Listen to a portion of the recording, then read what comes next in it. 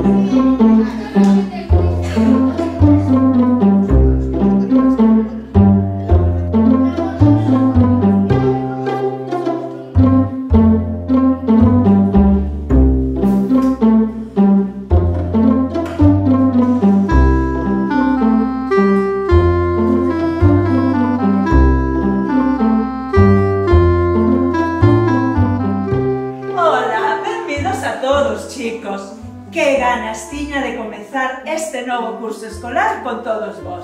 Ah, por certo, este curso temos un novo alumno na nosa aula. Vais a presentar el. Veña, preséntate ti. Ola, chamo Benano, teño 11 anos. Ademais, esta xa foi a miña clase do ano pasado, porque repetín curso. Xa me coñecería desde visto. Bueno, chicos, pois xa lle damos a benvida a Nando E mira, cariño, tes un sitio libre, aí, vale, e formas parte xa da nosa aula con todos nós, vale? Veña, vai sentar. Uh, repetidor! Pero vamos a ver, non vos metades con él. A vos vos gustaría que se metera con vos? Non, verdade? Estou segura de que imos ser todos moi bons compañeros. Por lo tanto, facer Traen xa as libretas que imos comenzar a clase. Hola.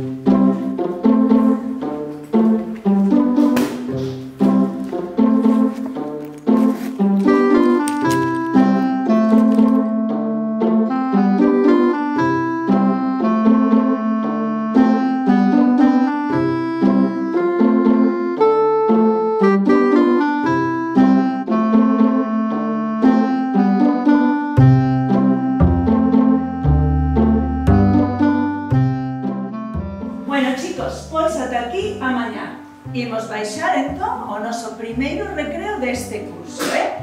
Espero, polo tanto, que integredes ben ao vosso novo compañeiro, de acordo? Sí. Pois veña, preparámonos e imos para o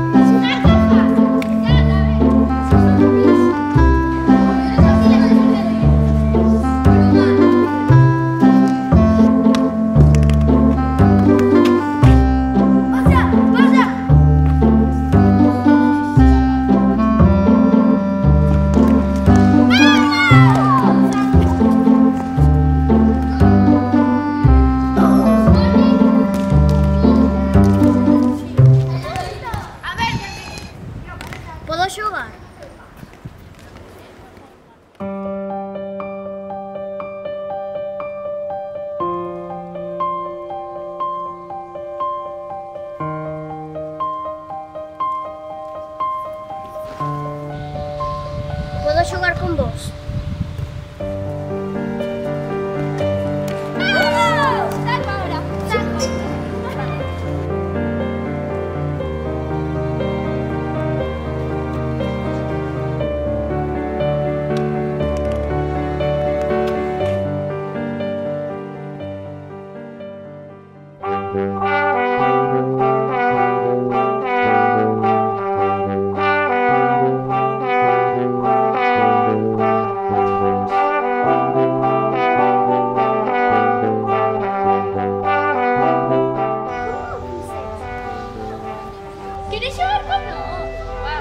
Claro.